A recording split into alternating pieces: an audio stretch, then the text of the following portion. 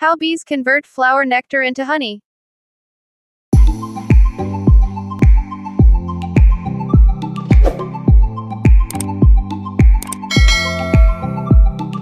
This is all thanks to our industrious worker bees, that a natural sweetener has come into existence.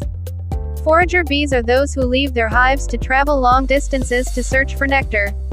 Research observes, they can reach as far as 6 miles per foraging flight to visit about 100 flowers each trip.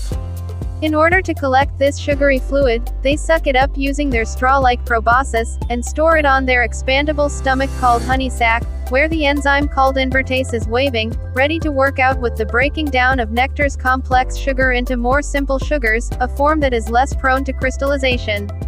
When honey sac is full enough, that's when the collected nectars weigh half of its body mass, let's say a single bee weighs around 100 milligrams then she can lift around 50 milligrams to 70 milligrams of nectar. This busy bee loaded with nectar honey sac is now ready to head back to the hive to regurgitate the partially transformed nectar onto the house bee or young bee. The latter chews it with special enzyme coming from her mouth for about half an hour.